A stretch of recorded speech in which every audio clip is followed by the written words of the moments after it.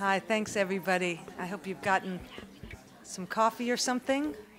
Uh, I know others will be joining us soon, but I am conscious of the time, so I thought we should get started. I wanted to welcome you here. My name is Janet Fleischman um, with the CSIS Global Health Policy Center.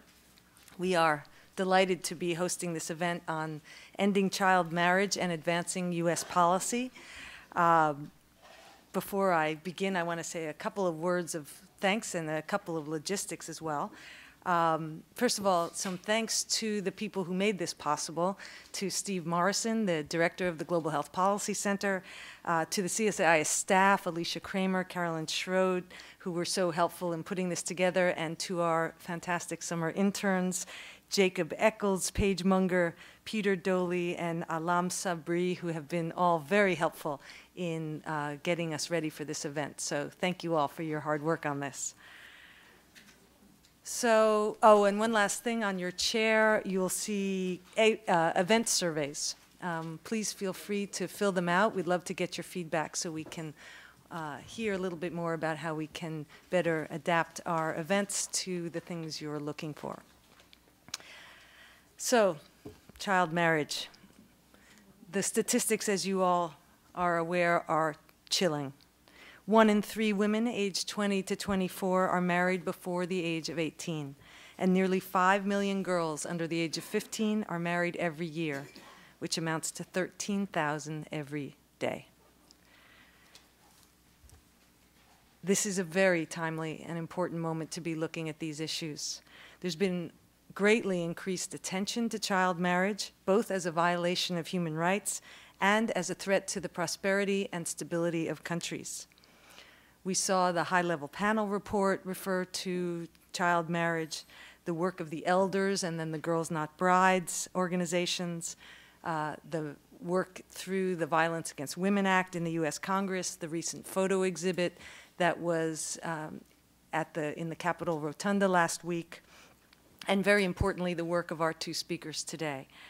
Uh, this event will be exploring how child marriage undermines U.S. development and foreign policy objectives, and how the United States can more effectively work to end child marriage and raise the status of women and girls around the world. We are very honored to be joined by our two speakers today. Their full bios are available outside, so I won't read them all. Uh, but just to give you a sense of who they are and why they're here, Rachel Vogelstein to my left is a fellow in the Women in Foreign Policy program at the Council on Foreign Relations. She's also the former director of policy and the senior advisor at the State Department's Office of Global Women's Issues in the first Obama administration. She is most importantly, for today's purposes, the author of the recent publication from the Council on Foreign Relations, Ending Child Marriage, How Elevating the Status of Girls Advances U.S. Foreign Policy Objectives. She has a couple of copies here, but there has been such great demand that it is currently out of print. It's available on their website, and I think they are going to be reprinting it soon. So um, feel free to access it probably by the website. We are also joined by Caren Grown, who is the USAID's acting senior coordinator for gender equality and women's empowerment. She will be discussing the U.S. government strategy on child marriage. And for those of you who know Caren and her work. She, you know how deeply involved she's been with this subject for, and the work on advancing gender equality for many, many years. So we have an excellent panel to be discussing these issues. And what we thought we'd do is give them a couple of minutes just to say a few words, and then I will have it as sort of a roundtable discussion, and I'll be asking them a series of questions that to elicit discussion and back and forth. And then we will, of course, open it up to you all for questions and answers because I know that many of you have been working on these issues and have a lot to contribute. So uh, when we begin the Q&A, you can just identify yourself and um, there'll be mics that come around. This event is being webcast, so we are, in addition to the folks in the room, we are joined by many people uh, who are watching this online, so we appreciate our online audience as well. And uh, without further ado, let me turn to Rachel Vogelstein to open it up, and then we will turn to Caren. Thanks. Thank you. Thanks so much, Janet, and also to Steve Morrison for hosting us here today. Uh, it's really wonderful to be here at CSIS and always a privilege to be sitting next to Caren Grown. Um, I uh, am the author, as Janet mentioned, of a new report from the Council on Foreign Relations uh, the first report from the Council on the issue of child marriage that came out in May. And the report was developed under the guidance of the Council's Child Marriage Advisory Group, which was comprised of prominent experts in international development, women and girls empowerment, uh, and the domestic and international policy communities. Some of the members included Archbishop Desmond Tutu of the Elders, also Norwegian Prime Minister Gro Harlem Brundtland, also of the Elders, which, as Janet mentioned, uh, is a group of world leaders that has taken on this issue uh, and really championed uh, ending this practice. Uh, Mrs. Sarah Brown, who together with her husband, former British Prime Minister Gordon Brown, has really championed this issue in their work on secondary education, uh, representatives from the U.S. government, including USAID, uh, from the United Nations and also members from Girls Not Brides. Uh, so really an esteemed group helped advise the development of this report and while those experts are not responsible for its contents, the report was really greatly enhanced by their expertise. So there are three things in the report that I'd like to call your attention to today before we start our discussion.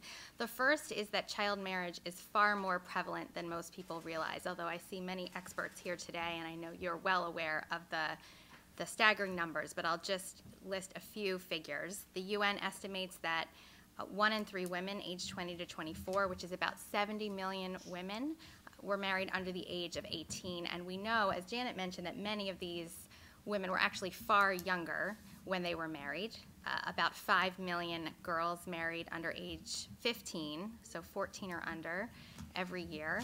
Uh, and some of these girls are married as young as 8 or 9 years old. Uh, we know that this practice occurs across regions, cultures, and religions. Uh, India accounts for about 40% of the world's child brides, and we know that this tradition is pervasive elsewhere uh, in South Asia, across sub Saharan Africa, uh, and also in parts of Latin America and the Middle East. The second thing to know about child marriage is that ending this practice is not just a moral imperative, but a strategic imperative because it has broad implications for U.S. foreign policy goals, including development, prosperity, and stability. And I don't want to minimize the power of the moral argument. Uh, some of you may be aware that on Capitol Hill last week, Senator Boxer and Senator Durbin sponsored a photo exhibition on child marriage that uh, displayed photographs taken by Stephanie Sinclair, a renowned photographer who has taken pictures of child brides around the world. In fact, one of uh, her photographs actually graces the cover of the report that we put out at the council. And here you can see that there's a picture of an eight year old girl who's named Tahani uh, and her 27 year old husband. And Tahani recalled of this picture and of the early days of her marriage, quote, whenever I saw him, I hid. I hated to see him. So looking at a photograph like this, or the photographs that were in the Capitol last week, few would be able to, to dispute that the practice of child marriage is abhorrent. But why should we care about the fate of that young girl in the developing world? Well, the answer, it turns out, is not simply morality or justice, but it's also self interest because what happens to that girl uh, has broad implications for U.S. foreign policy. It affects the stability of her family, her community, her economy, and her nation. So the Council has taken on the issue of child marriage really to make exactly that case that ending this practice is not just a moral imperative, it's a strategic imperative that really affects U.S. foreign policy interests. And I'll just give a few examples before we turn to our discussion. Consider economic growth. Research suggests that child marriage often curtails education for young girls, which not only undercuts their potential, but it also stifles economic progress. Even one extra year of schooling beyond the average can increase women's wages by 10 to 20 percent. And the World Bank has shown that uh, even a one percentage point increase in the share of women with a secondary education can raise a country's annual per capita income growth those benefits vanish from the global economy when girls' education is cut short by child marriage.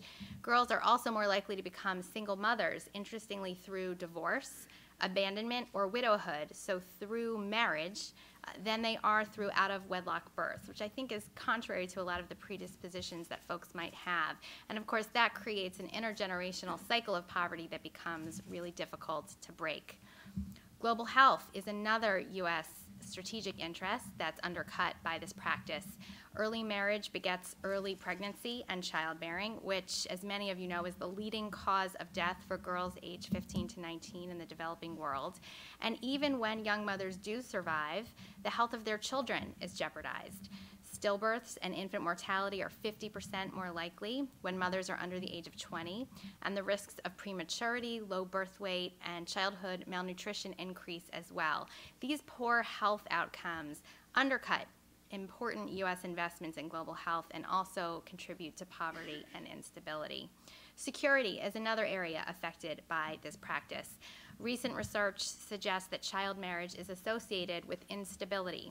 There's one analysis that shows that most of the 25 countries with the highest prevalence of child marriage are either fragile states or at high risk of natural disaster.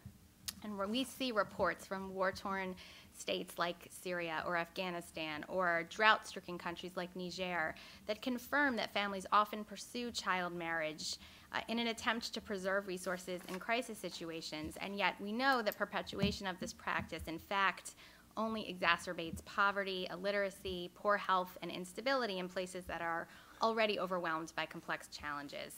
Disregard for the rule of law is another issue that contributes to instability. We know that there are laws around the world that establish minimum ages of marriage, uh, and yet all around the world we see that these laws are ignored. In some places, attempted enforcement of these laws can be met not only with indifference, but sometimes even with violence, and all of that is corrosive to the rule of law more generally. The third thing to know about child marriage that we highlight in the report is that policymakers have recently elevated this issue on the U.S. foreign policy agenda. In 2012, some of you may be aware, the U.S. State Department revised its human rights reports instructions to require that all posts report on child marriage for the first time. Importantly, in that same year, USAID released uh, a vision for action on child marriage that I know Caren will talk more about, so I will leave that to her, but that's an important document uh, demonstrating USAID's commitment to this issue. And in March, many of you may know that Congress enacted a provision in the reauthorization of the Violence Against Women Act that requires the Secretary of State to develop a U.S. strategy to combat child marriage. We are, I think, all eagerly awaiting the confirmation of Kathy Russell, who hopefully will be the next ambassador at large for global women's issues, and then will, together with Secretary Kerry and with USAID, uh, put that strategy together. So those are the top three things I wanted to highlight, and of course, look forward to all of your questions. We're going to turn to Caren for some opening remarks, and then we'll move to a discussion. Uh, thank you so much. It's a pleasure to be here today. I'd like to thank Janet and her colleagues for organizing this. I'd also like to uh, thank Rachel, uh, who I worked very closely with for the last uh, three years, and I miss her greatly, uh, but have the love to have the opportunities like this to see her again. But I want to thank Rachel for this report because I think it's a it's a report that if you haven't read it, it's well worth reading. It really marshals the latest data in a rigorous and succinct way, and I think it makes the uh, compelling case that she just laid out in her very brief remarks uh, for why this is an important issue for U.S. Um, foreign policy. So uh, do read it if you haven't uh, read it. Um, I want to start uh, where Rachel sort of left off to, to say that uh, many of you probably know that uh, the U.S. government, whole of government approach uh, under this administration, uh, particularly, uh, has adopted the stance and the recognition that reducing gaps that exist between men and women and empowering women to lead and be change agents in their societies is just the central core to effective development. We can't achieve our other development outcomes, whether it's economic growth or food security or peaceful uh, stable, prosperous societies without understanding the harmful inequalities that not only disadvantage women but disadvantage men. Child marriage is one of those uh, issues. So a few years ago, uh, as Rachel mentioned, USAID, the Department of State, really took a wholesale look and revamped all of our policies and strategies to underscore the importance of reducing gaps between men and women as central to development outcomes. Now, I should say, as part of this argument, both in the gender equality policy, where we, we talk about this, which we released back in um, 2012, um, and actually prior work that I did when I was with the UN Millennium Project back in 2005, um, we knew that ending child marriage pays development dividends. Uh, and this is actually an evidence base that has started to accumulate for quite some time, even as imperfect as the data is. And we do have imperfect data, so we should probably come back to this in the conversation for how we actually um, uh, increase what we know about this issue. But as, as Rachel said, she spelled out very nicely the arguments for why ending child marriage is important for economic growth. She mentioned the wage gains uh, for uh, girls who um, stay in primary school, but even more significantly for girls who can complete a secondary education. That's the critical point of the pipeline, much more so than primary education for girls. And child marriage really impinges on girls' ability to complete secondary education. But the, the wage gains, the uh, participation gains, the health gains are essential for completion at that, at that level. She also uh, mentioned that um, the um, health benefits to uh, ending child uh, marriage. Um, there are other benefits that she, she didn't mention that I think are really important in terms of giving girls greater decision making power and bargaining power because girls are often married to much older men. The example that's on the cover of the CFR report, the age gap is really enormous. And young girls lack the kind of um, both economic resources, the education, uh, the skills to be able to effectively advocate and stand up for themselves. And that's a generalization. There are many girls who do try to escape abusive situations, but we know from a long literature that higher education, greater economic resources, higher age of marriage actually gives women and girls um, much more bargaining chips to deal with, particularly to leave abusive and unsatisfying and unhappy uh, marriages. So there's a development case to be made for this issue. Um, and USAID uh, has actually responded. So we've been working on child marriage for um, some years now, um, uh, particularly through our global health and our our PEPFAR programs. But we now have a, a, vision statement, which some of you have may, may have seen, which was actually released um, last October on the International uh, Day of, of the Girl. It's uh, the USAID vision for ending child marriage and meeting the needs of married children. And I feel quite terrible that in my haste I forgot to bring the copies, which I would have put on the table.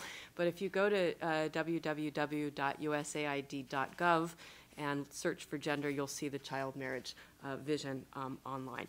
This is our latest um, step to uh, redouble our efforts to combat child marriage. And I should say that it's really not a standalone strategy or policy. It is part and parcel of USAID's overall policy for gender equality and women's empowerment. And it's also part and parcel of the whole of government U.S. strategy to prevent and respond to gender based violence globally.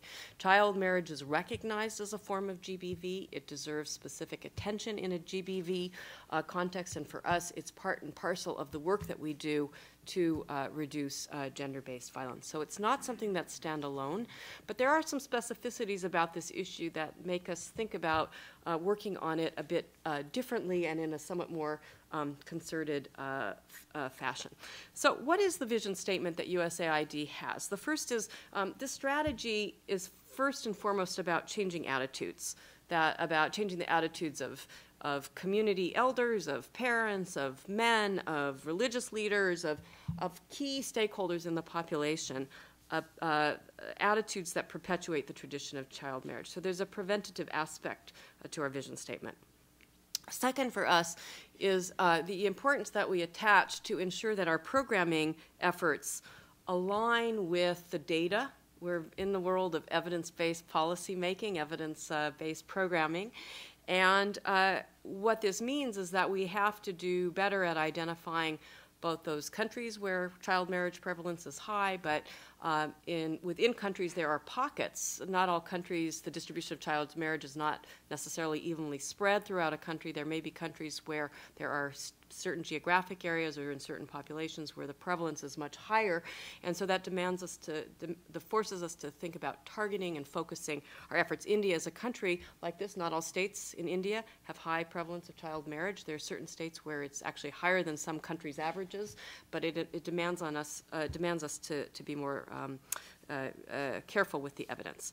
Um, and finally, uh, we aim to contribute to global efforts in ending child marriage. Janet mentioned that this is on the agenda of the international community. There are many donors, uh, there are many countries, there are many agencies in the UN system and elsewhere that have elevated this issue, and part of the US government agenda is to align and be part of that worldwide um, uh, momentum. So, as we uh, begin to implement um, this vision, what does it mean that we actually do? Well, the first is that we are prioritizing efforts to adjust child marriage in two specific ways that I think are really important for us. The first is to identify exactly, uh, as the CFR report did and through our own efforts, um, uh, we've generated a, a uh, data through, of course, the demographic and health surveys, uh, uh, the World Health Organization, other data sources for our programming efforts. We've also started to use GIS technology so that we can generate heat maps on these issues. We can look at where the prevalence rates are. We can look at where our programming resources are. Uh, but um, we're looking at uh, particularly at the subnational level for prevalence rates. So we choose countries first and foremost for, first and foremost, but in terms of our actual programming, where are those communities, where are those geographic areas uh, that we should be targeting? So mm, using the evidence that we have to uh, bring a laser uh, focus uh, within countries.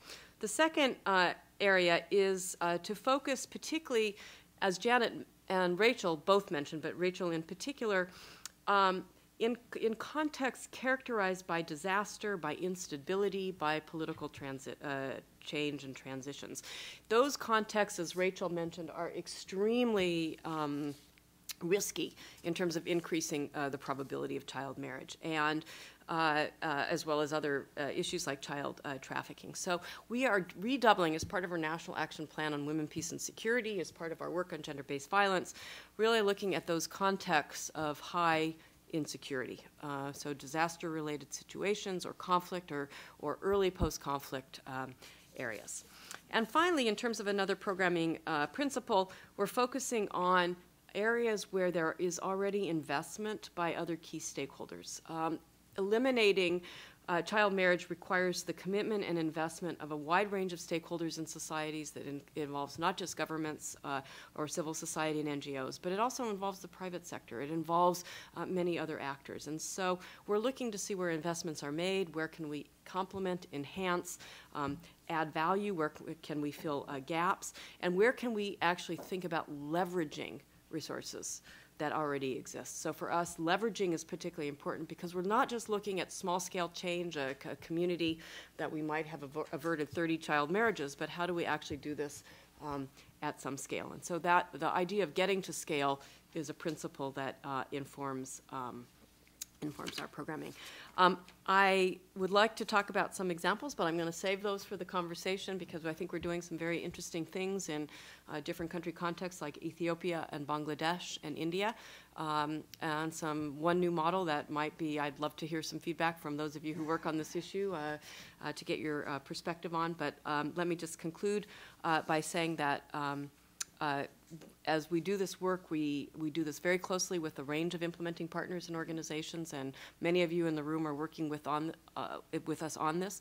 We're very open to your ideas for how we can do better, uh, and we're opening, uh, we're interested in hearing uh, what we could do, what we should be doing more of, uh, but being mindful that we're in an era of scarce budget resources. So for us, the way we have to do our work is to really think about how we integrate uh, the attention to this issue in all of the core development programs that we engage in at USAID, whether it's for food security or democracy rights and governance or economic growth or global health. We have to do work in an integrated way. We, we don't have funds for standalone programs. So I'm actually very interested in hearing from you on integrated programming that you think is particularly effective that we can learn from as we go forward. So thank you. Thank you both very much. that provided us, I, th- I think, a wonderful platform from which to launch this discussion because it has so many aspects and it touches on so many pieces of what the U.S. government is doing. And I thought maybe we should begin uh, with Rachel and ask you. Uh, based on your report and one of the charts you have in your report, you talk about the different areas of U.S. foreign assistance that are pertinent to child marriage, uh, that range from the health issues, HIV, MCH, education. But I wonder if you could elaborate a bit on what are those program areas, and that gives us a sense of where that integration is ultimately going to have to take place. Absolutely, and then I'm sure Caren will, will and should chime in. Uh, in the report, I think on page 21, for those of you that have a copy, there's a, a chart, as Janet described, uh, that really outlines the, the various budget lines, uh, the various areas where we spend development and foreign policy dollars that relate to the issue of child marriage. In the report and in our recommendations, we highlight three areas in particular. Uh, the first is maternal and child health, and that's because of the strong evidence of a link between child marriage and maternal and child mortality, which we talked about earlier. Uh, the second area is family planning, and in part that's because of the large numbers of already married girls who have unmet need. And importantly, the USAID Vision for Action that Caren uh, just talked about specifically mentions that USAID's efforts, and I know this is true for other development agencies as well, focus not only on preventing the practice, but also on addressing the important needs of girls who are, all, are already in this situation. Uh, so family planning, another really critical area. Uh, girls' secondary education uh, is a third area that we highlight and really call for more government resources in that area because we know, as Caren described, how important girls' secondary education is. You know, it really is a critical moment in a girl's life where she can become educated, have an opportunity to contribute economically. She's more likely to be healthy. Her children are more likely to be healthy and educated versus she drops out of school because she is married. She's unable to contribute economically uh, perhaps at all, or at least to the degree she might have been had she received an education, she's less likely to be healthy, her children less likely to be healthy and educated. So it really is this critical moment um, in the life not only of an individual girl, but of her family and her community. And of course, that intergenerational cycle of poverty becomes really difficult to break. Uh, and we know that the data is clear that the effects are not just on an individual girl, but really also on her family, her children. Uh, so those are the three areas that immediately come to mind. Uh, there are others. You know, the rule of law is an issue that the State Department works on a lot, as they should. Uh, this is an issue that relates to that. I mean, there, there should be attention on this issue in programs that address the rule of law. Stability. I mean, when we think about U.S. interests in places like Afghanistan or Yemen, those are both places with uh, significant problems related to child marriage, and we know that this issue contributes to overall instability. So there really are a range of areas, and I think Caren is, is right, of course, to point, point out that we're in a very difficult budget environment, but even in this time of fiscal austerity, there really should be an attempt, and the council recommends that the government really look at across U.S. foreign assistance and foreign policy efforts the various issue areas that relate to child marriage because if we want to be successful in those areas, if we want to make sure our global health dollars are delivering the most that they can, or that we are really ensuring stability in a place in the world where we would like to see that stability, we need to be addressing this issue. Caren, maybe just to follow up on that, we can talk a little bit about what that what that means for USAID. What does it mean to get the buy-in of the different bureaus and in an interagency way, the different agencies, to see this as a way they are going to achieve the their own targets? And what does that mean for the work that you're doing to advance this issue within USAID? Um, so let me address that, and then maybe I can follow on to some things that uh, Rachel uh, said. We are part of an interagency effort. We work very closely with the Department of State, the Department of Health and Human Services, uh, the DOT, many other agencies on this issue. Uh, we actually have a, a, steering committee that was formed for uh, the U.S. government's approach to gender-based violence. Child marriage is one of the pillars of that uh, in terms of uh, at the CDC, I should also mention as part of this. And that's important for us for coordinating action, particularly at the country level, uh, and particularly when we have programs through PEPFAR, for instance, or the Global Health uh, Initiative where we do uh, integrated government um, programming. So I think we're much more mindful about how we can both harmonize across, uh, harmonize interagency efforts, but also be aware of our distinct comparative advantages as agencies. So to work hand in hand with the diplomacy agenda, of the State Department uh, in terms of aligning with our investment dollars um, uh, at AID, and that we, we harmonize in country at post to ensure that our efforts are, um, are aligned. Uh, the issue of buy-in isn't something um, that I think I've encountered at AID. I think actually people understand and see um, that this is a serious problem. I think the question is more how do we work on it? What do we do to tackle it? And I and, and this is the kind of um, in all of my work at AID for the past three years on the whole gender equality, women's empowerment agenda, that's always the question. It's not that we don't understand that these issues aren't important, but it's how do we do it?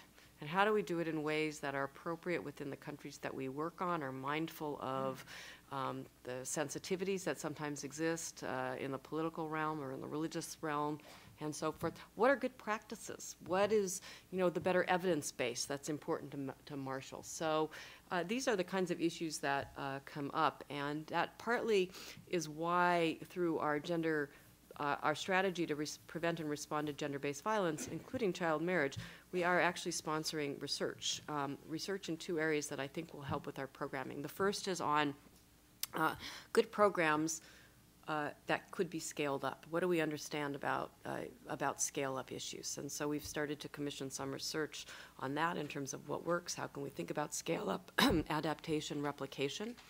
Um, a second uh, area where we think it's important, and it's particularly important in this issue, is research on on men and boys, and how do we engage men and boys more effectively as champions uh, to lead the fight to end uh, child marriage. And we have some interesting and good models uh, that exist, and there are many organizations which I really love to give shout outs to, including Promundo and, and MenCare and others like that, which I think do excellent work, but we need to really replicate that in a, in a much bigger way than, than what currently um, exists.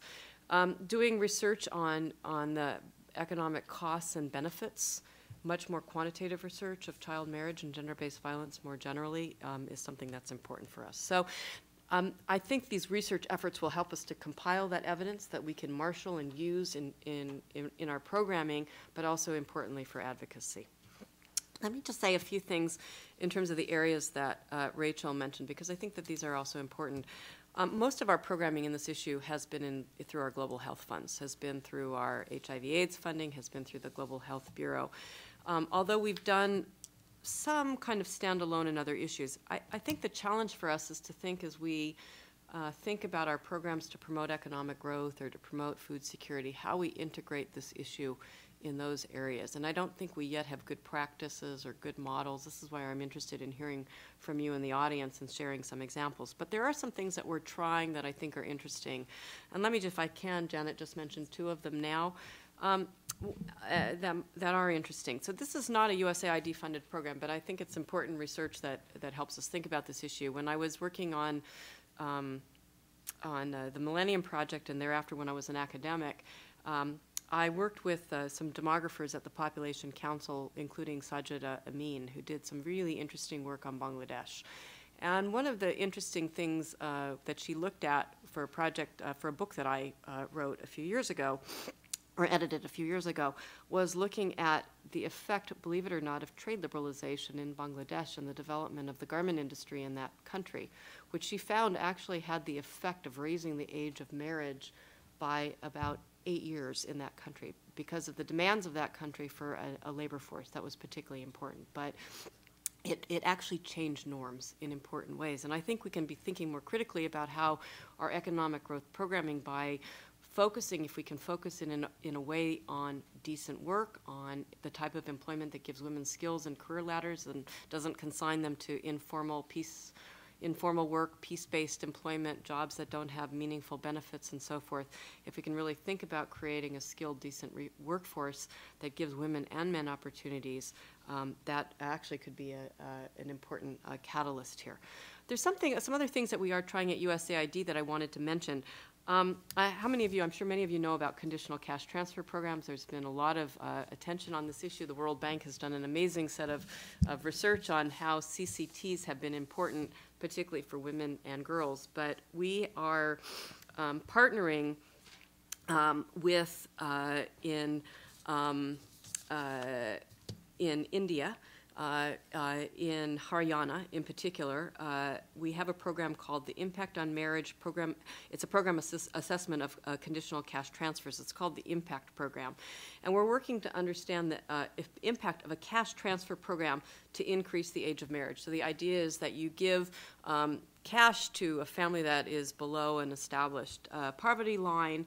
Um, the government of Haryana started this uh, program 18 years ago by giving the parents of newborn girls a bond to cash in when that girl turned 18 years of age if she is still unmarried. And we are working with ICRW, uh, who just released some of the preliminary results to see um, the effect of that program on age of marriage, and the results are actually quite interesting and promising. And there's some other work, uh, evaluation work done by the World Bank in other countries in sub-Saharan Africa that looks at the effect of CCTs on age of marriage. And so in the education sector, that might be the kind of um, larger scale intervention that would have uh, promising um, promising results. I can talk about other programs, but I just wanted to mention those two approaches um, as ways to think about uh, doing development programming. And if I can just add that we at the council have been very interested in following uh, the program that Caren just mentioned closely. In fact, we'll be traveling uh, to India later this fall uh, and hope to write about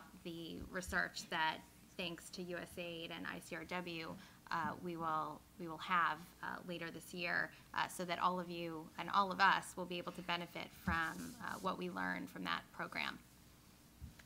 I wonder if uh, we we mentioned the PEPFAR money and the global health money. Can um, either of you speak about how this is being implemented with PEPFAR dollars? What does it look like on the ground? Um, I, maybe I can ask one of my colleagues who's here from the Global Health uh, Bureau if they want to add, but let me give you one example um, of our work uh, in Ethiopia, which is one of the um, Rachel and I had a discussion earlier. We consider it one of our very high prevalence countries. It's particularly high prevalence for marriage uh, below the for rates of marriage below the age of 15. When you apparently uh, look at marriage below the age of 18, it drops off the list of top 10. But it's on our top uh, 10 lists of countries, and we have actually scaled up and are, are um, really looking at our investments to end child marriage uh, in that country. We're working with the Population Council there. Um, we're implementing a five million project um, in child marriage hotspots in Ethiopia, actually also in Tanzania, Burkina Faso. And in Ethiopia, Ethiopia we're focused in Amhara, which is um, the region with the highest uh, prevalence uh, rates of child marriage. And uh, we're doing a quasi, uh, Pop Council is undertaking a quasi experimental study to test the effect of different types of community based um, investments, community based interventions. So things like community education program, change, working with, um, with um, influence uh, leaders to, to change norms. We're providing educational support. We're doing some work in terms of livelihood um, activities for, uh, for women. Um, and one of the things that we're doing is we're costing interventions to assist with scale up and, and uh, replication. So um, PEPFAR, uh, uh, and, and so that's one of the things that we're doing. And so PEPFAR dollars in that context in, in Ethiopia are also um, working through our family, as Rachel and had mentioned, uh, working through the health system to think about uh, providing family planning services and contraceptive services, as well as a range of other reproductive health services to address the needs of married adolescents who are often left out. They cannot get, when you're married, you drop out of the system, cannot get uh, access to decent uh, services. So um, we've really been um, working to improve coverage for married adolescents. And the Pop Council, as the latest evaluation, at least that I read, has reached more than 220,000 married adolescents through the Meseret Hiwot program. Um, and they, they do a range of interventions, including uh, forming groups of uh, girls to discuss issues of family planning, reproductive health, power dynamics, how you negotiate in marriages. Um, they have a really nice financial literacy module uh, that's part of it. So we're able to use PEPFAR resources uh, for those kinds of things. And, and I think that that is um, a good example of some of the best of what we're doing. And we're doing some of this in other countries as well. Um, I mentioned Tanzania, Burkina Faso, but also in parts of uh, southern uh, Africa, Mozambique.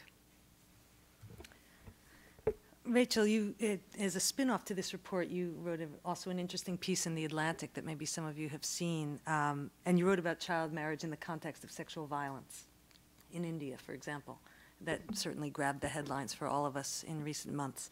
Can you elaborate on the link between child marriage and sexual violence?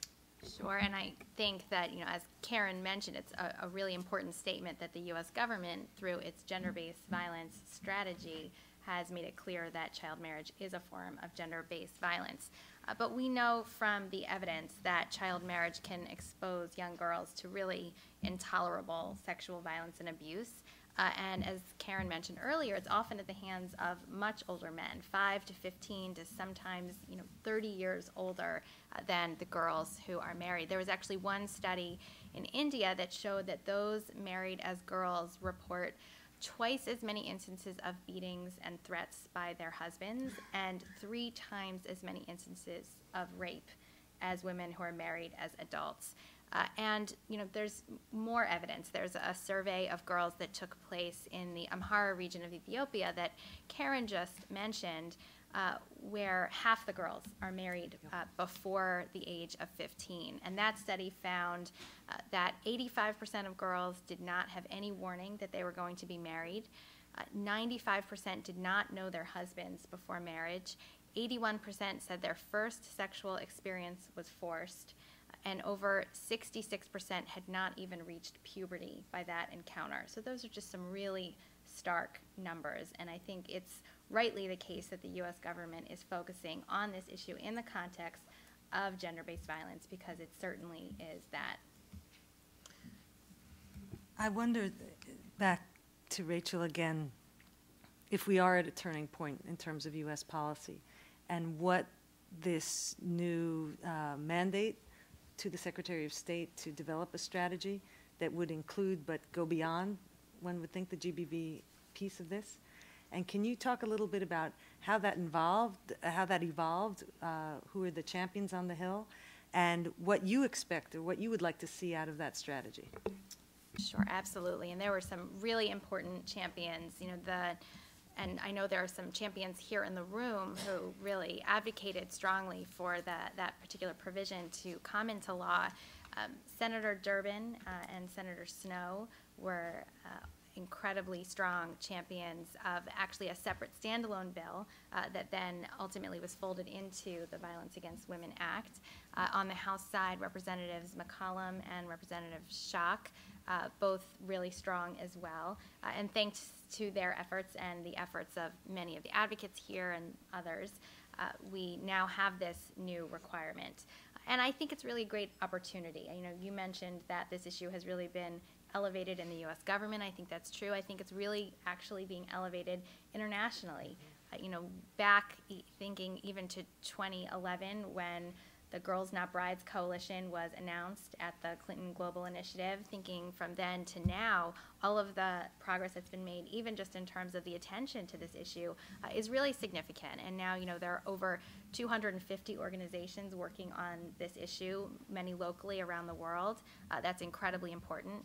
Uh, so uh, I think we really have a, a, great opportunity to keep the momentum moving forward, and the U.S. has a unique role to play. Uh, so there are a few ways I think that the strategy could really help uh, elevate U.S. efforts on this issue, even beyond the incredibly important work that the U.S. is already doing and that Caren has described. One area that we mentioned in the report is diplomacy.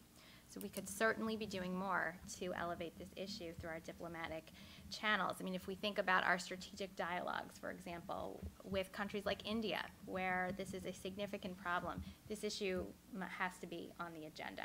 Uh, thinking about uh, working with some of our like-minded colleagues, Caren mentioned that as a, a priority for the U.S.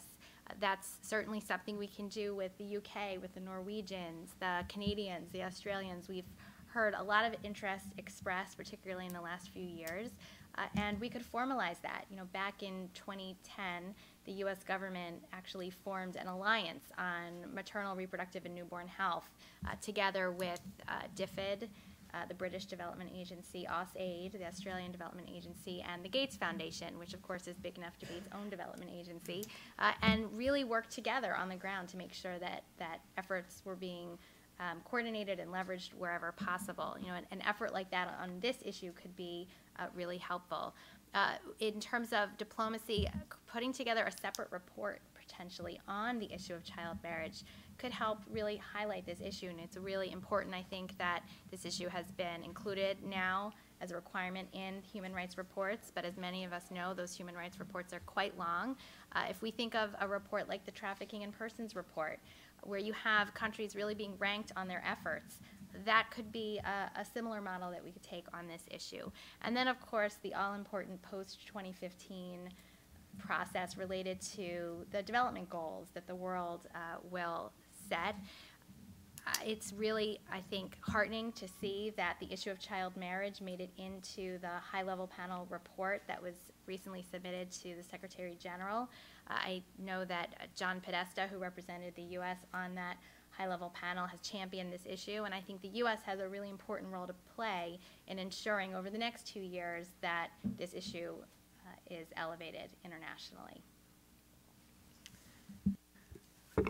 And then we get down to the money. So, Caren, with no new resources, uh, though you have identified some very interesting research, uh, and obviously you've both referred to the important policy framework that's been developed, uh, particularly in the last few years. Uh, how do you actually implement these programs uh, in the integrated fashion that you've identified will be necessary, uh, but with a, with a level of scale and impact that's going to make a difference? Uh, it's a really important question, but can I just, before I answer that, just say one thing about the turning point? Um, because I think that's important. I, I think that uh, Rachel and everybody is right. There is a lot of momentum right now. I don't necessarily think we're quite at the point of a turning point yet. I, I think that we have a little bit more work to do. I, and I think this is true not just of child marriage, but I think of our work on gender based violence more generally, um, on some of the really hard gender equality issues for which we've not had traction for many years. I, I just think that um, this is not the time to sit on the laurels and say, okay, we've, we've achieved something. I think it, it means we have to really redouble efforts. And, I, and what I'm going to say, I think, leads into your question is that um, when, when I say we redouble efforts, we actually have to show programs that work that are effective and show results.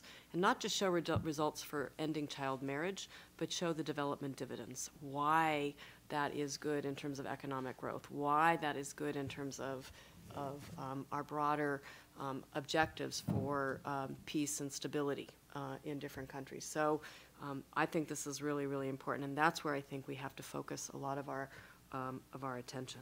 So how, how do we do this? I mean, and I, I don't necessarily, I, I'm interested in hearing from you in the audience about this. I don't necessarily know how we do this. I can talk about some of the kinds of programs that we're doing uh, and some principles that I think are important that uh, in the uh, that can lead to scale um, uh, that have I think we haven't had the evidence in terms of cost effectiveness there. We do need research on that, but seem to be working. So, for instance, in Bangladesh, we're partnering, and this is a principle of good work, and this is why it's part of our vision statement.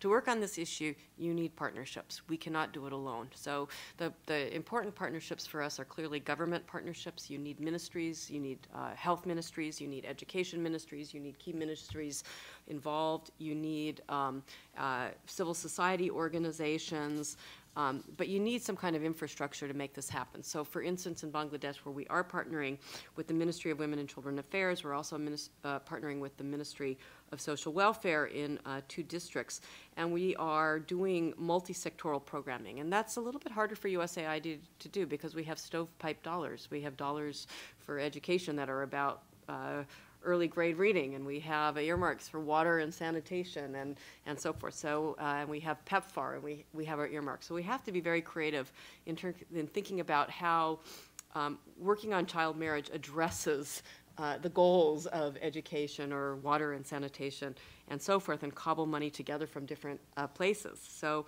we are doing um, a multi-sectoral approach to improve uh, girls' access to education and livelihoods, to um, delay marriage consistent with the government of um, uh, government policy. It's also a conditional cash transfer program. It does include um, important cash incentives to keep girls in school. It provides livelihood training. Um, we also do a lot of work in other countries on, on things like behavior change and community mobilization. And I think those are important to some extent, but I have to say in my, I'm not trying to be too critical of our of my own agency, but I I really think we probably have to do better to evaluate those efforts. We have one good example uh, in Yemen.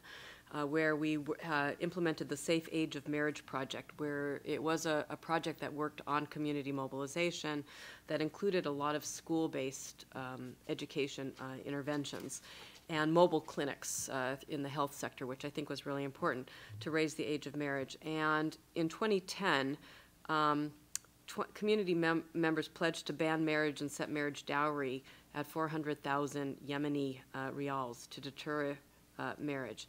And uh, there was an evaluation that actually showed that um, the most commonly reported age of marriage among girls 10 to 17 rose from 14 years of age to 17 years of age over the course of the project. And I think that's really important. But we have to understand what worked about that uh, in terms of what were the uh, types of messages or whether it was the champions or those other the, those other kinds of things. So i think if we have um, evidence like this and we can show what the effects are in terms of broader development programming we're going to be able to um, have less difficulty in terms of channeling the investment dollars and understanding why in an education program or a health program or an economic growth program we need to be focusing on this as well because I, I myself, I mean, we, we just are not going to have the money for standalone programming. That is just the reality of the world that we live in. And clearly, it's still early days of seeing the rollout of, of all these efforts. Um, and I certainly take your point that it is uh, a time to increase the momentum and redouble the work so that the important progress that's been made, at least in the policy and the framework and the attention, is uh, translated into action on the ground. I, I understand at some point soon I have to stop asking questions and open it up to you, but let me ask just a couple of final things and then we'll open it up. Um, Rachel, you came out of a very important uh, pioneering work at the uh, Office of Global Women's Issues, so you know the challenges of moving this through the U.S. government. Um, how would you prioritize where to take action and how to identify the places uh, to show the kind of early impact and evidence that Caren's referring to? That's a, a great question. And in, the report, we, we make a, a series of recommendations. And um, I think a lot of what we rec- recommend, Caren's actually already talked about today, uh, and USAID, in fact, uh, is doing, or the State Department is doing. Uh, but I think there are some uh, criteria to think about, particularly when we think about prioritizing countries and country selection. Uh, one, um, issue to consider is certainly uh, prevalence and population. I think if you look at a crosscut of population and prevalence, uh, you, you learn some interesting things. We've already talked about India being uh, home to 40% of the world's known child brides. Uh, but interestingly, if you look at a crosscut of population and prevalence, Brazil is actually uh, at the top of the list of countries of girls married under the age of 18. And I think most folks don't know that, uh, and we should think about that when we're thinking about how to prioritize this issue. Uh, there's actually a chart in the report that has exactly that cross cut of population and prevalence. Certainly, considering places where prevalence under the age of 15 is high, uh, places like Niger or Bangladesh or places in West Africa, for example, uh, because we know that the effects on girls 14 and under are the most severe. Uh, thinking about political will is important. You know, Ethiopia has been mentioned today. That's a place where you actually have a commitment by the government. There's a national strategy on harmful traditional practices that includes child marriage. We've actually seen uh, places in Ethiopia where the rate of child marriage has actually come down. Certainly, challenges still exist, the Amhara region in particular, which Caren mentioned earlier.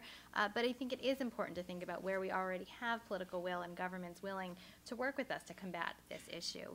Uh, strategic interests, another really important uh, thing to consider. Uh, we talked about uh, Afghanistan, certainly South Sudan. Yemen is a place uh, that we should be thinking about. You know, in 1999, the government actually repealed the law in Yemen that had previously set the minimum age of marriage for girls at the age of 15. Uh, so now Yemen is one of four countries in the world with no law. Uh, in 2009, there was a proposal to set the minimum age of marriage at 17, uh, and it was defeated in parliament because it was deemed un-Islamic. Uh, so, you know, that is a, a particular country where the U.S. spends a lot of time and attention, and we should be thinking about this issue when we're thinking about our strategic interests. And then gaps, you know, certainly uh, the Latin America and the Caribbean, you know, we talked about um, Brazil. Uh, that's a, a, place in the world where there actually is uh, prevalence of child marriage that is really largely uh, unaddressed. There are very few programs that are in that part of the world. So going back to Caren's question about research, we have very little research in that part of the world on this issue. Uh, so, you know, th those are all issues to consider when thinking about how the U.S. can channel its resources to make sure that we're making the most of our dollars. But I think Caren's point on the research and the evidence cannot be um, stressed enough. You know, certainly the the more we can show that these programs work, and we're all eagerly awaiting the research that Caren mentioned from ICRW, uh, the, the better the case will be made, and then the more likely we are to be able to ensure that these programs are funded and brought to scale. So I think that that's an incredibly important issue. And then just in the the realm of data, it is worth noting that we have very little data on prevalence on this issue in the Middle East and North Africa. So about half of the countries in that region, we don't have uh, statistics on the minimum age of marriage. Uh, so that's really important because when we look at prevalence across the world, uh, it appears that only 70% of the girls in that region are married under the age of 18, and yet we think that that's actually much higher. And we know anecdotally that many of the countries that don't report on ages of marriage actually have significant problems. So again, the data can often drive policy, and it's so important to improve our data collection in that area to make sure that we have the best evidence-based policy we can.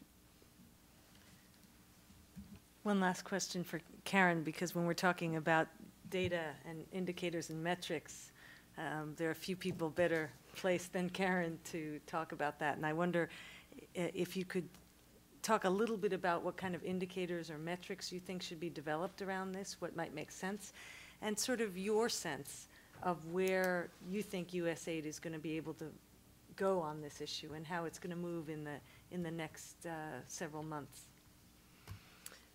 Yeah, this is a this is a, a, really important issue because we do need the data and we do need the metrics. I think the main source of information that we have right now is through the demographic and health surveys, and I think that um, that's important. But there's much more that we need to um, glean through other surveys.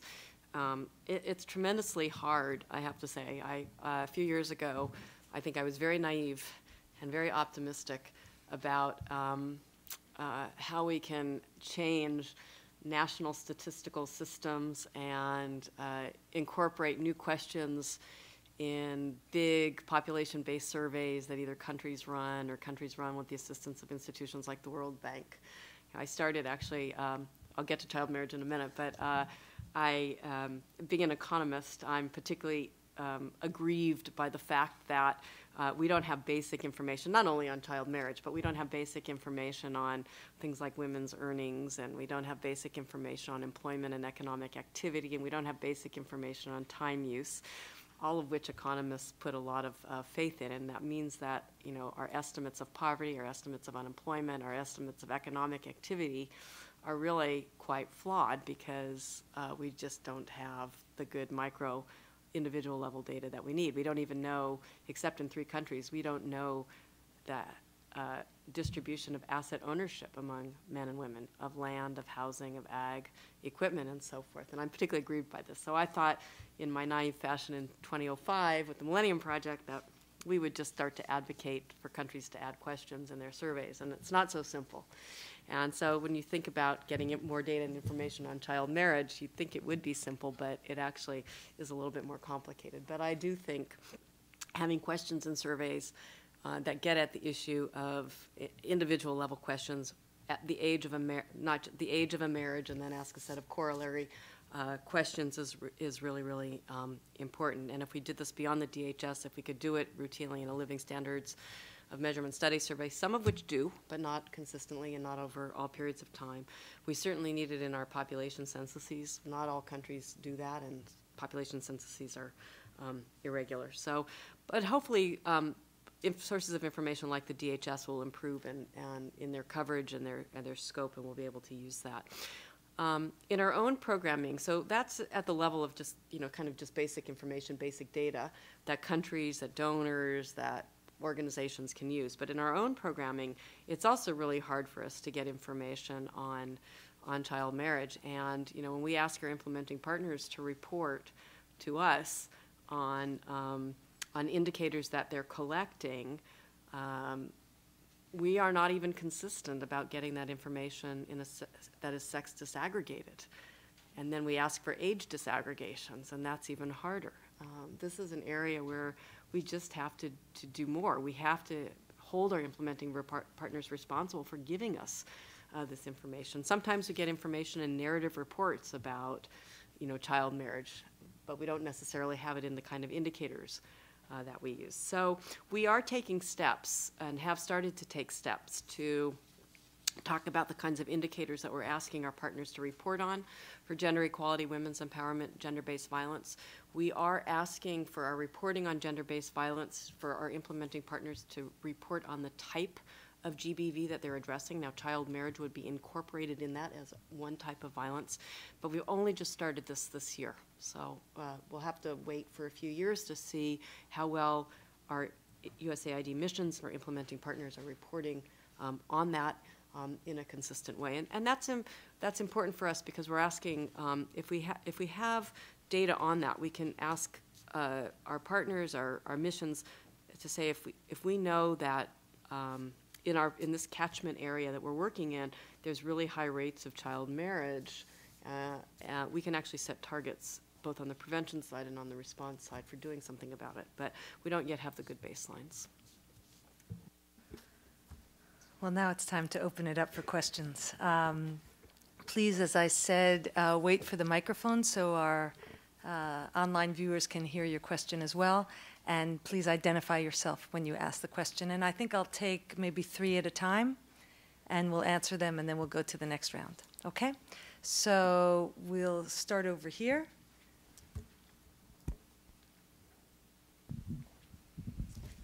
Thanks, Janet.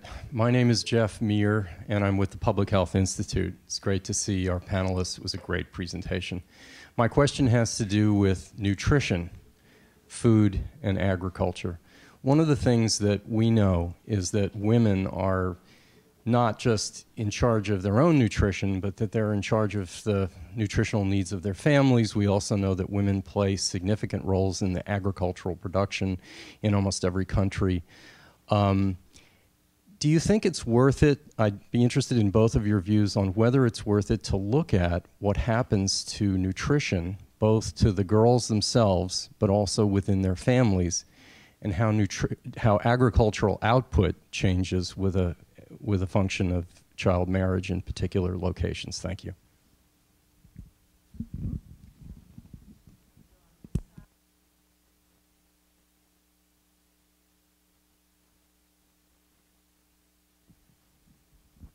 Um, hi, my name is Nidhi Kurana, and I'm from the Johns Hopkins School of Public Health. I'm a master's student in health systems right now.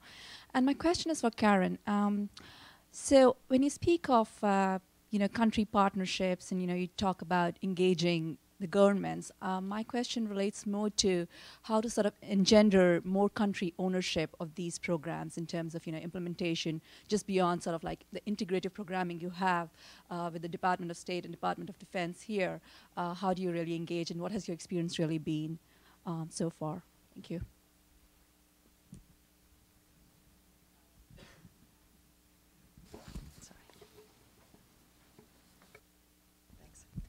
Hi, my name is Jill Craig. I'm with Voice of America's South Sudan in Focus program.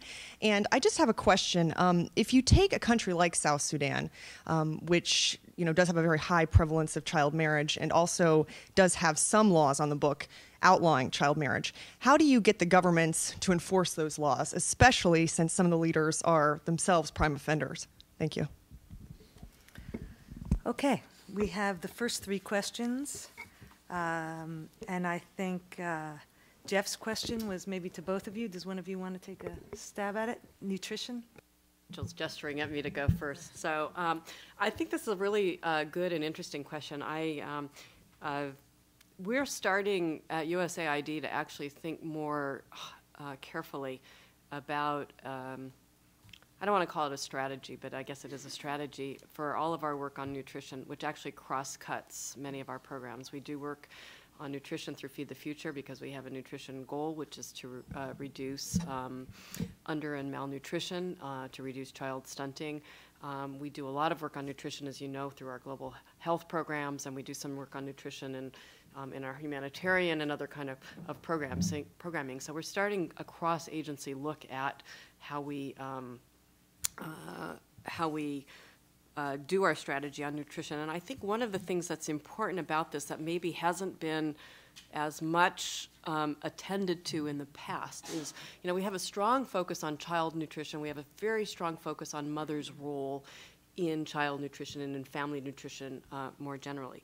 But I don't think we've looked as hard about uh, hard at the importance of nutritional out, uh, nutritional status and outcomes for women themselves at different ages. And I, I, I don't know of any study, maybe uh, colleagues uh, who work in this area can correct me, that look at, have correlated or, or done anything on, um, on uh, uh, nutritional status of young women who are already married and what that means for food security or for agricultural output. I actually think it would be a great research project uh, to begin to think about, and you've just given me an idea in terms of, uh, I do work very closely with our Bureau for Food Security uh, in the creation of a Women's Empowerment in Ag Index, for instance, and other things of something that we might, would be a great question for our monitoring and evaluation uh, team um, to look at. We, are doing, this is some of the best work in the agency that we're doing is on monitoring and evaluation in that area.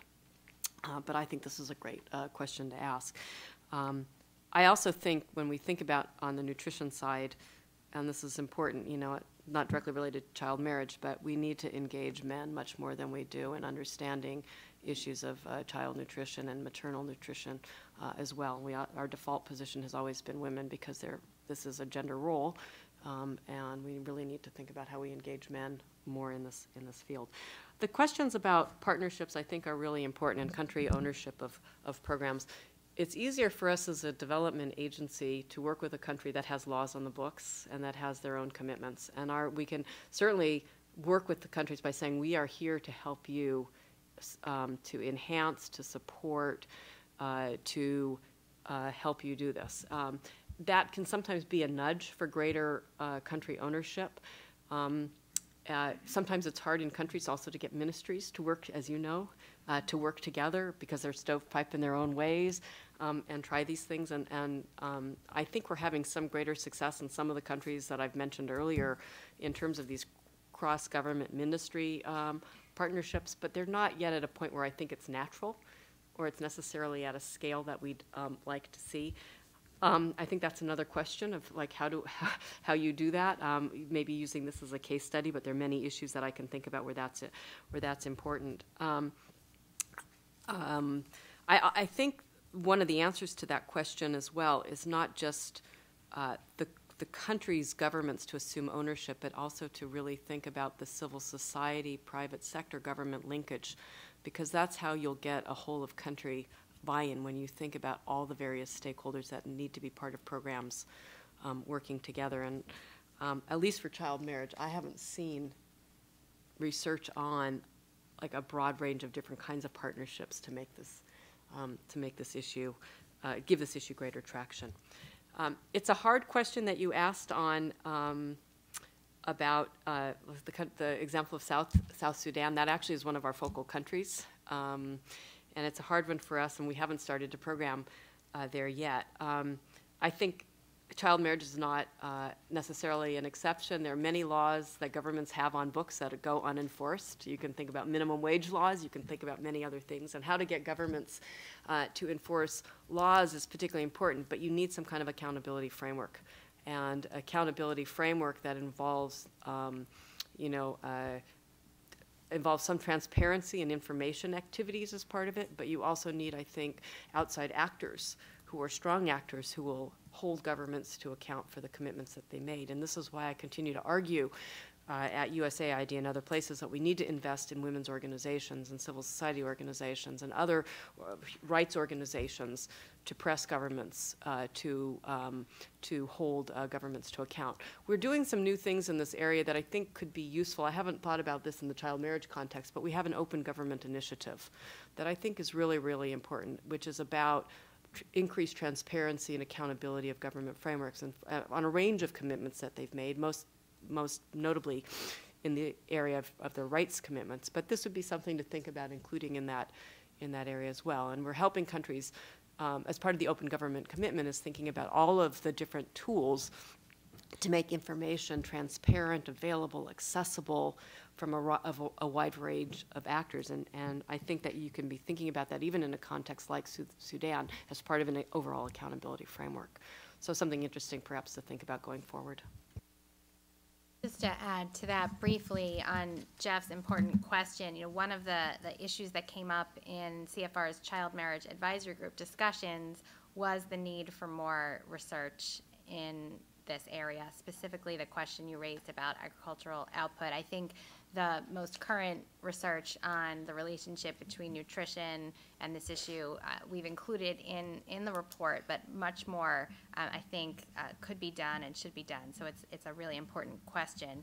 Uh, on the, the question about uh, South Sudan, uh, just to add on to what Caren said, you know, I, I think some of the diplomatic approaches that we outline in the report uh, are well worth considering. I think uh, quiet diplomacy can actually oftentimes be more effective than uh, diplomacy that is done and conducted in front of the world uh, for everyone to see. I can think of examples on this precise issue uh, in parts of the world where this this particular topic was raised quietly, and we've actually uh, seen progress from that type of quiet interaction. So that can also be really effective.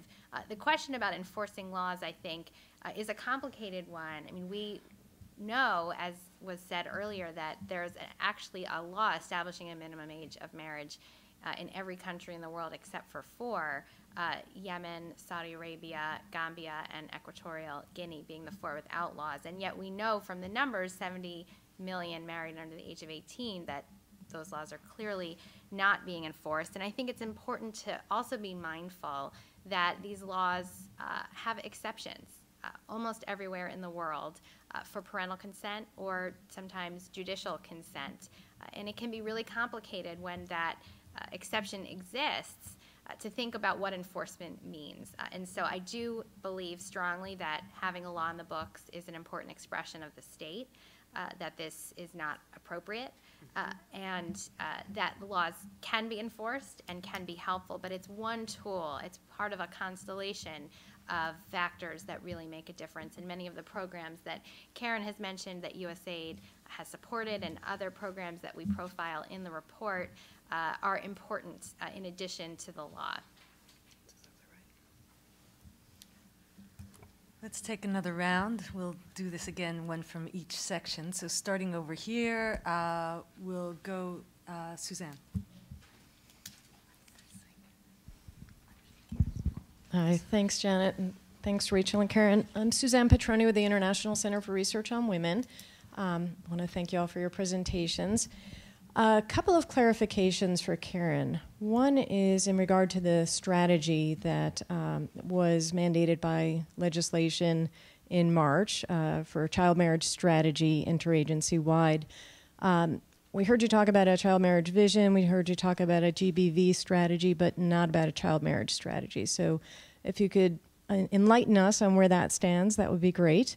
Um, and then, in regard to the research needs that you identified, if you could just clarify, you mentioned among uh, the research areas men and boys and their role in preventing child marriage, as well as the economic costs of child marriage. Uh, are those areas that USAID is currently funding, wants to fund, or identifies a need to do further research in? Thanks. And if I can just add to Suzanne quickly, uh, it's Kathy Bonk with CCMC, and I'm with the Ford Foundation. Um, the you, AID just announced the 200 million for Afghanistan. What is your thinking about weaving in child marriage into those programs? Sorry, we'll go to the front here. Yes, it's coming right behind you. Uh, my name is Mindy Reiser. I'm vice president of an NGO called Global Peace Services. Haven't heard anything about the connection between female genital mutilation and child marriage. Obviously, if children, young women who are really children, marry very early and they're in societies where FMG is, is prevalent, that's an impetus, certainly, for it to happen and to happen more frequently. And the other question is regard to vocational education and giving opportunities for young women uh, who may not even go on to secondary school, but to have an opportunity for some remunerative employment beyond agriculture and, and what is going on with that and how ILO can be helpful in that kind of work. Okay, over here. And please, let's try to limit to one question so we can get to as many Oh, of you as possible. I actually had two in a comment. I guess then the most important one, uh, I'm sorry, Lorette Kakuza with Plan International USA. And uh, these are specifically for Caren again. Um, I'm naive probably as well and hopeful um, about getting uh, DHS to include data on 10 to 14 year olds. Um, so if you can move that agenda, I'd be thrilled. Um, also, does USAID have any response to the recent um, Nigeria situation with regard to age of marriage? And um, in your request for more data, I would recommend a study that came out in January of this year from ICRW and Plan on child marriage in Bangladesh, Nepal, and India. Okay, why don't we let Rachel go first this time? I'll be brief because I know a lot of these questions uh, were for uh, Caren. Uh, on the, the question about FGM, that is actually something we, we address in the report. Uh, in some parts of the world, FGM is actually a kind of precondition for marriage and therefore kind of accelerates a girl on the path to that outcome. Uh, interestingly, uh, Tostan, an organization I know many of you are familiar with, uh, has done very important work on uh, FGM and now is also uh, doing important work on the issue of child marriage.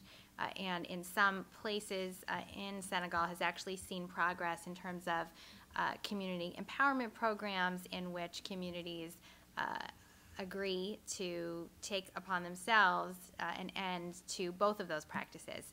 So, you know, I think a lot still remains in terms of uh, the, the evaluation of, of some of those uh, more recent programs, but the, the link is certainly there, and I think it's important to address it, particularly in parts of the world where you see high prevalence of both FGM, FGC, and child marriage.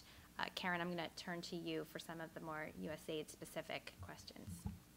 Thanks for, thanks for these questions. Um, so to respond uh, to Suzanne, uh, we do have a U.S. strategy to prevent and respond to GBV, and we do have our USAID vision to end child marriage, which is part of a strategy. So we're not going to, to be developing a separate new strategy because it is already part of the strategic framework that has been approved and is being implemented at USAID.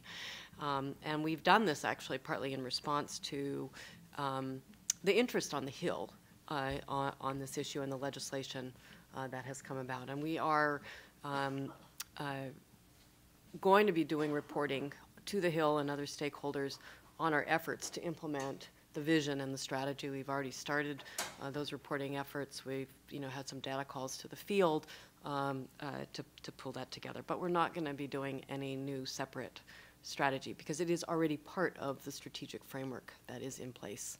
Uh, in the agency. So just to clarify on that.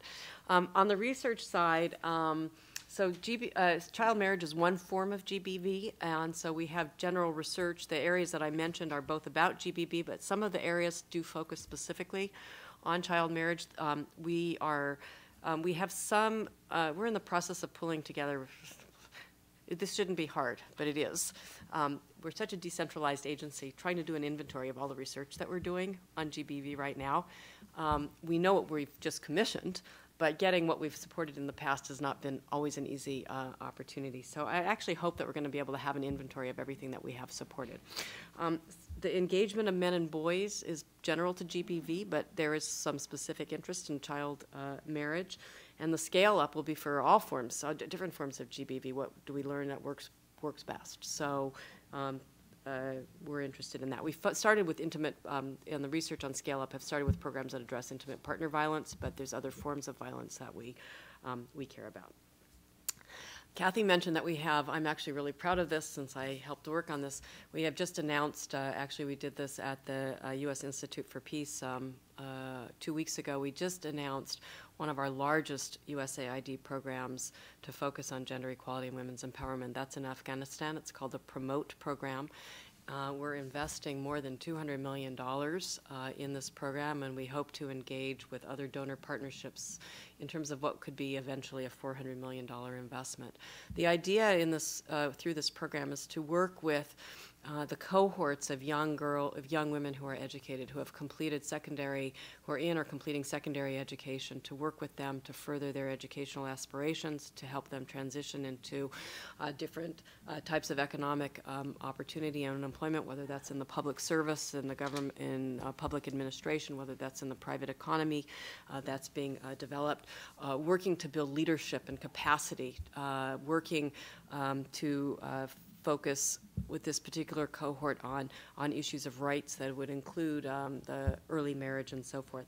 We don't have a specific um, focus in, in this on child marriage. The focus is really on trying to build this cohort, this generation of young Afghani women's capacity to fully be able to effectively participate and serve um, serve the country. And we have a, a way a wide range of, of um, things that we're going to be doing with local institutions, with international institutions. Uh, and I'm looking forward to seeing the results of this program as we go forward. Um, maybe uh, in terms of, of um, the DHS, I mean, there's certain changes that we've tried to make in the DHS going forward um, to get them to do some things. This is a, maybe one of those areas of quiet diplomacy behind the scenes to, to try to do this. I think we've had conversations about this, and I'm, I'm not totally pessimistic. I'm actually somewhat more optimistic, but the DHS does go in cycles and, you know, in terms of the changes that are made. And in the response to Nigeria, I think this is an issue maybe of, uh, of uh, quiet diplomacy and, and other uh, quiet diplomacy of the type that uh, Rachel uh, had mentioned. So leave it at that. And just one more note on the, the 10 to 14 question, you know, certainly thinking about USAID and the DHS is one avenue. I know there are other really important efforts. I see Michelle Maloney Kitts here in the audience who is helming a, an incredibly important effort together for girls, which focuses right. on data for this age group. Uh, so, you know, thinking about um, taking a multifaceted approach to trying to get uh, attention on that really important issue. I'm looking at my watch, and I'm not sure we have time for more than maybe one last question. Um, and then I'd like to just give the last word to our panelists to be able to say any closing remarks. So, one last question. Okay.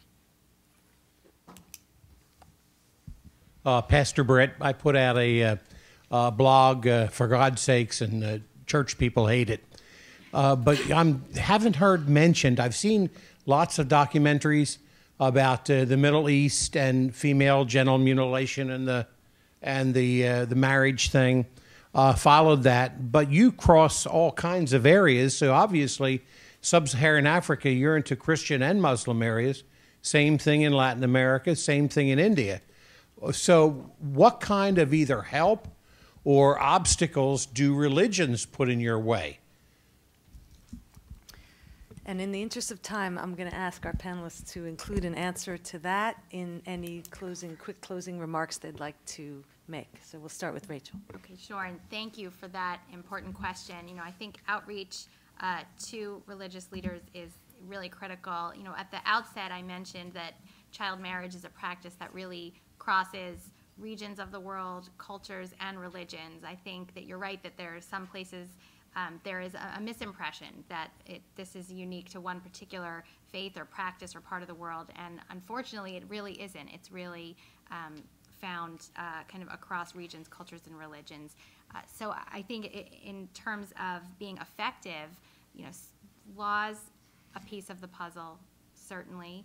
Uh, some of the the other factors that Caren's talked about in terms of the programs that try to shift the incentive and the uh, economic value that a, a, girl enjoys in her society, uh, because of course what's really at the root here is the low value of girls around the world.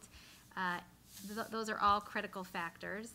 Uh, culture and religion is also really important. And I think that when we think about programs like Tostan that reaches out to community and village leaders, uh, programs to reach out to uh, tribal and religious leaders can be really uh, the most important approach that, that governments and others can take to try and change outcomes.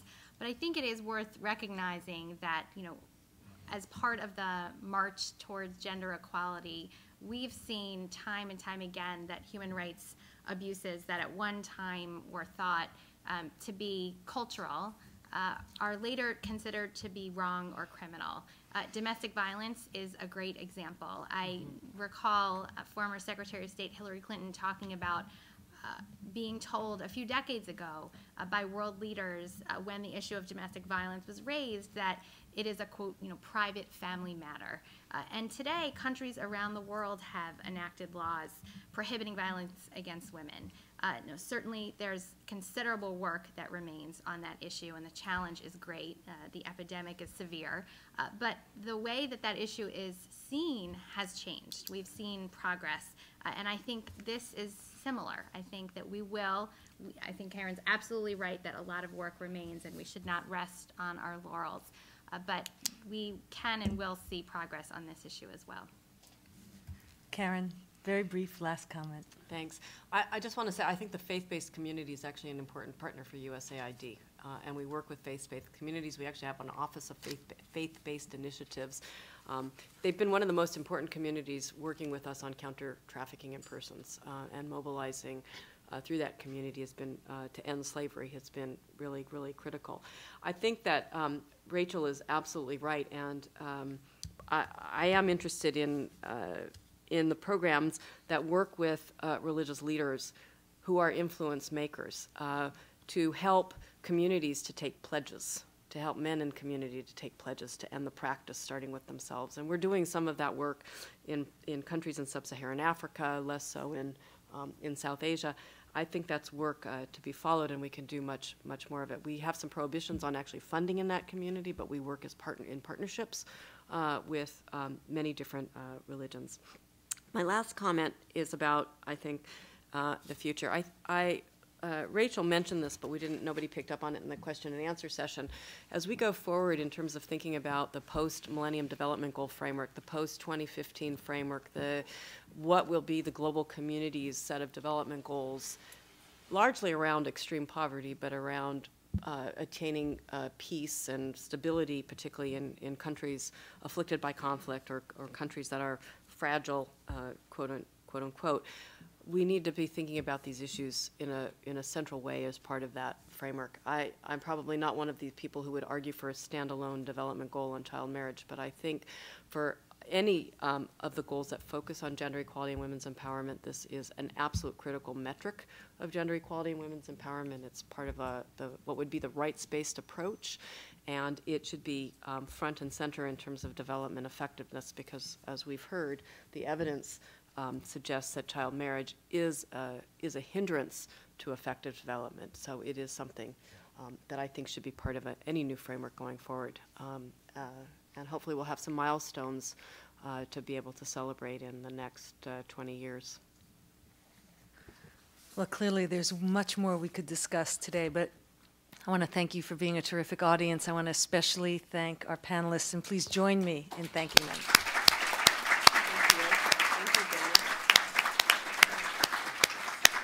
Thank you all.